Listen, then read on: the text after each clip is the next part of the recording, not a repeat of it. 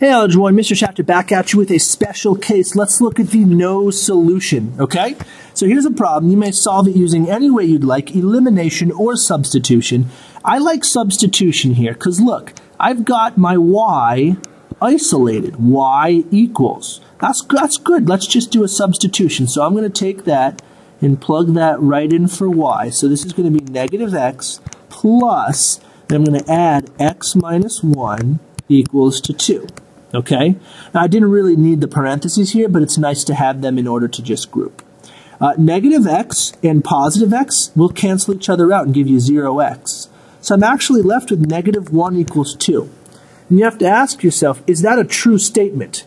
No. No, this is false. This is not a true statement.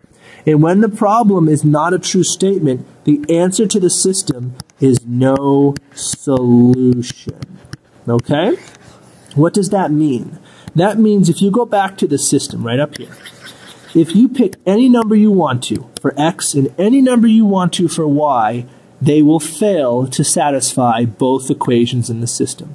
This this system of equations uh, it, it, never never actually has a value that uh, will equal each other. This is very easy to see graphically. Watch this. If I take this line and add x to both sides, do you guys see that I would have the equation y equals x plus 2, right? And if I were to graph both of these lines, uh, the top one, the top one has a y-intercept of negative 1 and a slope of 1, so that's like up 1, right 1, up 1, right 1, up 1, right 1, whatever.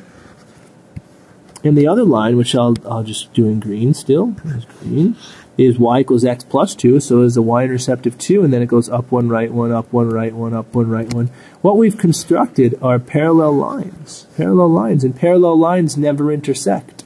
And a solution to a system of equations is where the lines intersect, and they don't intersect anywhere, so it has no solution. Okay?